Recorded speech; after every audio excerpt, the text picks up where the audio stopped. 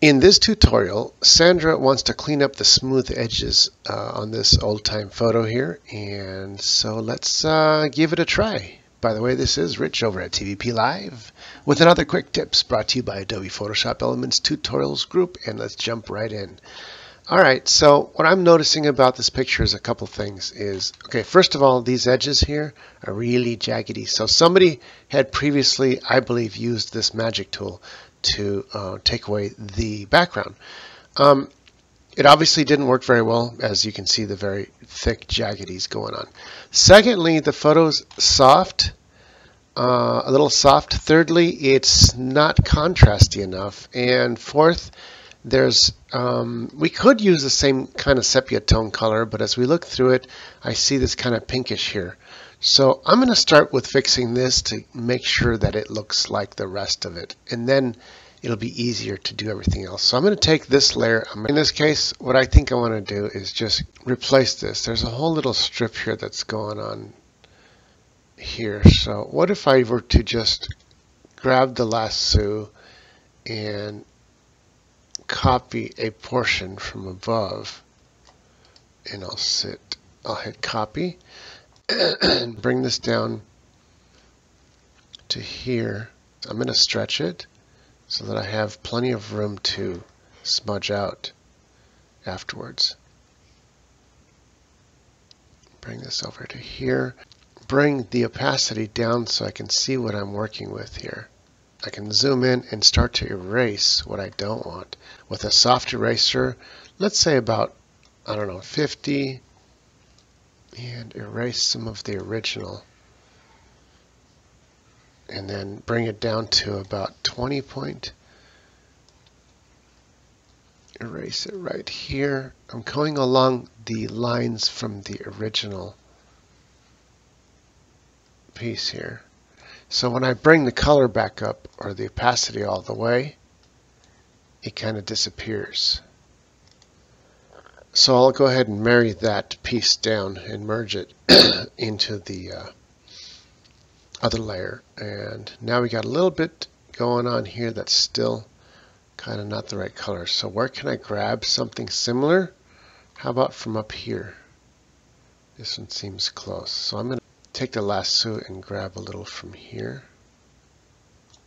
I'll copy that and bring that down all I'm trying to do is just this line area. So if I can find a placement of this that's close to what's there, so I lessened the opacity so I can see both versions. I'm going to turn this a little bit. And I can see where it kind of matches up right around here. So now we just take the eraser at about 10 point, let's go 20, give it a little bit thicker and erase up along this line here, just like that. And then above it, we get rid of all this stuff because it's going to show. Grab the lasso, get rid of what we don't need anymore, which is all this, and then hit delete. When I go back to the opacity that's at 58% on that layer and bring it up, watch the pink disappear. It's gone. I'm going to right click and make a duplicate of the photo. And now I'm going to work on just the dress because that's where I started. So I'll go back to Enhance, Lighting, Brightness Control, and bring the contrast up, bring the brightness right there.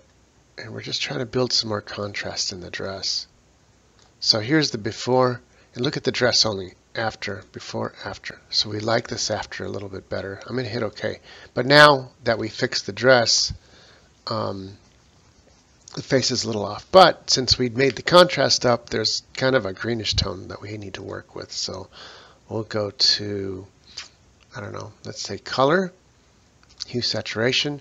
It depends on how harsh these um, yellows, maybe it is the yellows, there we go. It was the yellows that were too harsh. So we're going to bring that down a little bit to make it a little more black and white, but not quite all the way, because this would be all the way. We don't want it to be, we want it to be a little bit of a sepia. So we can actually go over to reds and probably bring up the reds just a tad. That's not too dark. Okay, so that's mostly for her, for her dress. Now with for the face, we might want it to be a little bit brighter. So let's turn this off, turn the uh, one, the layer underneath on, and let's do the same thing with the face.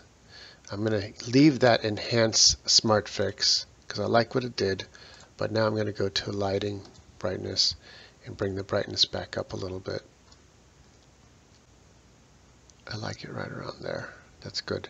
So now we're going to take, uh, go back to the top layer and get the eraser. And just like in one of the previous uh, tutorials, we're going to erase just the face to bring the lightness back up.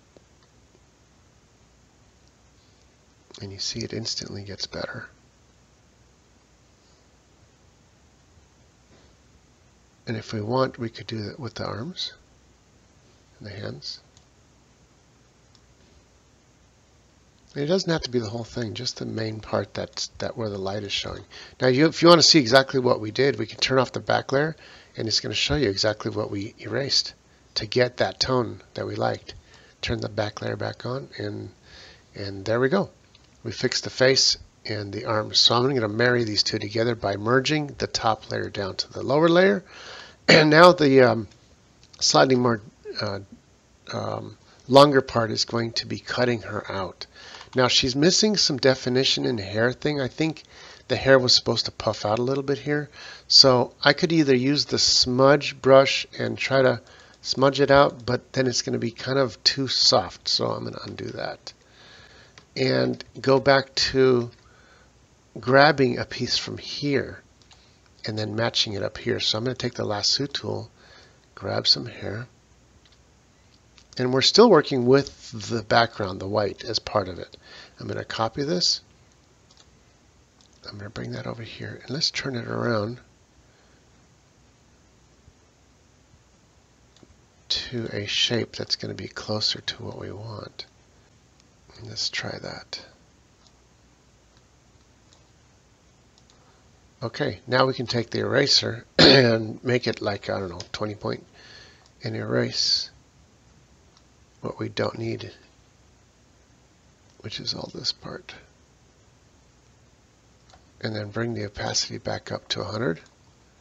And that seemed a little more like her hair was longer and it just wrapped around the back. So this looks a little more natural from that.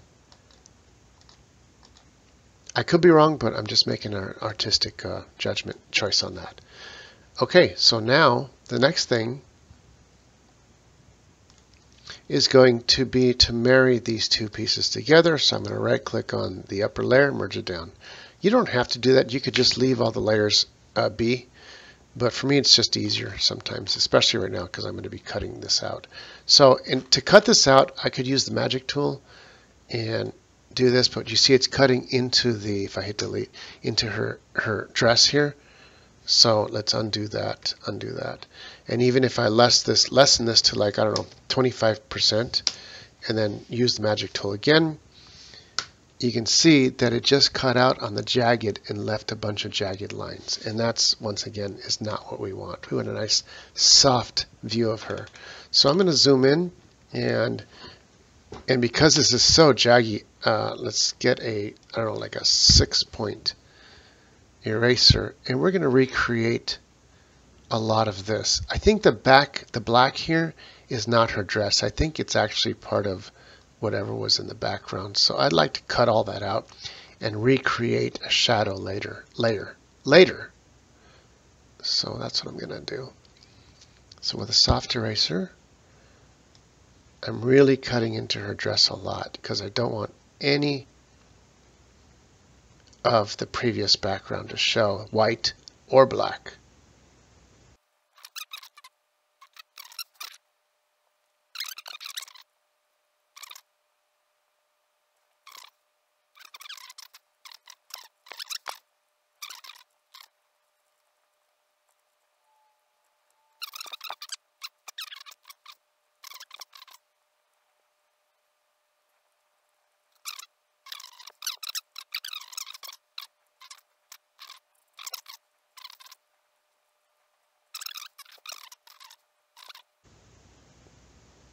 It's the only time we want to leave the dark backgrounds in this particular photo. if it's actually part of the uh, original photo. All right, so we have her cut out. Let's look what we got. And now we're going to do is cut that out with the uh, polygon tool. So we'll grab the polygon tool and carefully cut a, uh, a whole big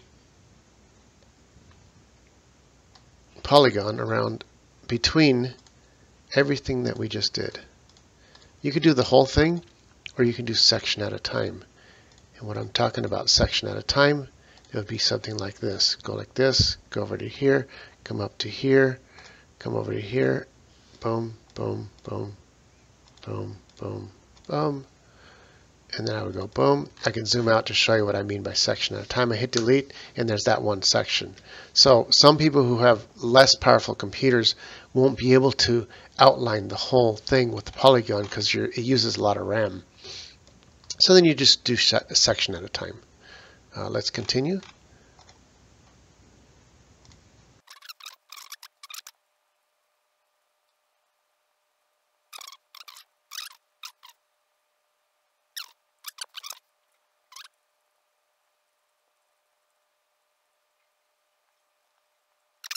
Like I said, that was the hardest part, is cutting out, hit delete, the background. Um, and it's not that it was hard, it just was time consuming. All right, so now we've got this where we want it, and there's a little bit of fuzz there we might have to fix afterwards. And let's put a layer of white in between. So I'm going to hit, uh, choose another layer, blank layer, and let's use pure white for now and with the bucket, paint bucket, we'll paint it in. So here she is. As a matter of fact, if we want to do some sort of drop shadow, I'm going to make the image bigger. So to make the images bigger, not the image, the background, the whole picture size, you go to Image, Resize Canvas, always. And whatever it says here, width, we want it, the height and the width to be a little bigger. In this case, it's up upright. So from 7, I'm going to bring that up to like, I don't know, 25 and make this uh, 20. Boom and grab this white again, grab the paint bucket and fill in the rest with white. This gives me a lot more to play with. Um, I like to have this extra room and then make the picture smaller later. So now we can do just about anything we want with this. We can uh, fix a little bit, go to image, I'm sorry, enhance lighting, brightness, and let's go ahead and give a little more contrast and then brighten it up a little bit. Play with the contrast till we see something where we like it. Now this is the before and after. Before and after. I really like this after a lot better. Uh, 44. Let's go 50%. Really push out those whites and, and bring, it, bring out the blacks. Now that we got her here, let's go ahead and add some definition. So let's right click on that, go to edit layer style, uh, choose drop shadow. Usually I like to bring the light in to, as, as a starting point from this top corner. This top corner just always happens to be 135. So we'll do that and you can tell by this little line up here. I'm going to bring the opacity up all the way for now, bring the distance down, and this will show you exactly what it is. That 135, as I make a circle, you'll see it's turning around the whole picture the angle of attack for the shadow. So let's leave it back at the 135, 135, and um, this is exaggerated. Let's make the make the size or the uh, fuzziness of the edges really big like this. Bring the distance back a little bit, and then and once we got it where we like it, Let's go 35. Now we bring in the opacity back to what's more natural. And you just play around with this, you know, from 0 to 100 until you find something you like. Something nice and subtle might be here.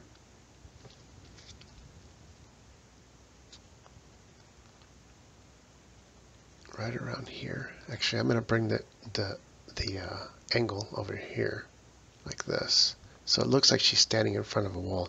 Now let's play around with the shadow here. Um, in order to do that, because we put this effect, anything that we add to it uh, uh, will also be drop shadowed. So let's make its own layer that has uh, some uh, definition of shadow for her feet and her bottom here. So I'm going to go back to this layer, add a layer in between, and grab a black brush and make it nice and soft and big. Let's say, I don't know, 25 maybe? That's too little. Let's try 100 point. I'm going to zoom in a little bit.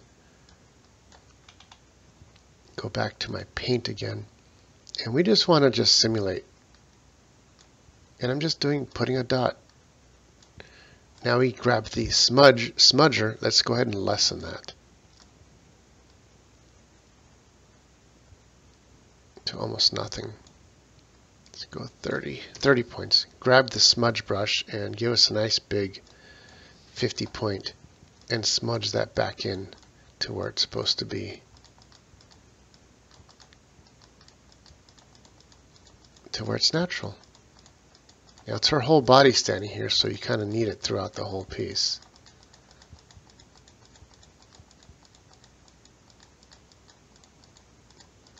You want to kind of attach these two, smudge them together.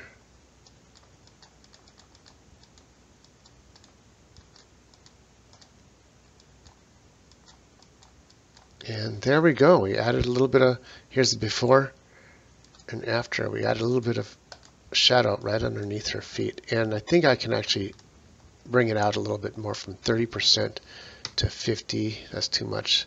Split the difference and go 40%. bring it back out, and there we go.